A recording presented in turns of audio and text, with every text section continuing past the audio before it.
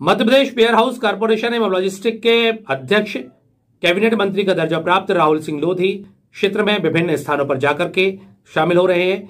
इसी सिलसिले में सवा साल से चल रहे अखंड कीर्तन में वे शामिल हुए। केवलारी में आयोजित कार्यक्रम में वे शामिल हुए और उन्होंने वहाँ पर बैठकर कीर्तन भी किया। इस दौरान अनेक नेता वहाँ उनके साथ मौजूद रहे।